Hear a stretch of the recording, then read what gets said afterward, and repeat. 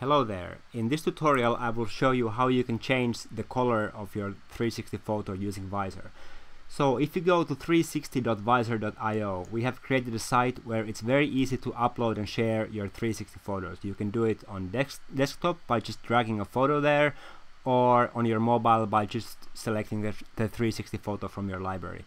So now when I click on the screen on the on the top right corner I get these buttons and the middle one is edit so let's hit edit and Vizor's powerful editor will open up. So hitting tab on the keyboard will open this graph and this graph will give us access to all the different parameters we can change in this photo.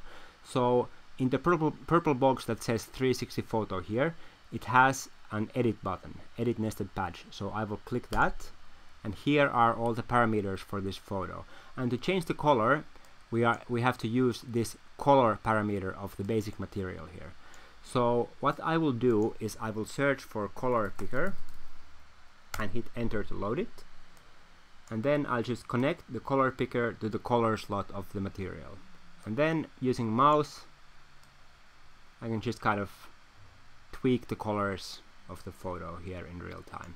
And then I can press tab again to hide the graph. So now the only thing I have to do is go to the top right corner and hit publish. And then I can share my photo with my friends. And for publishing you actually have to register as a Vizor user.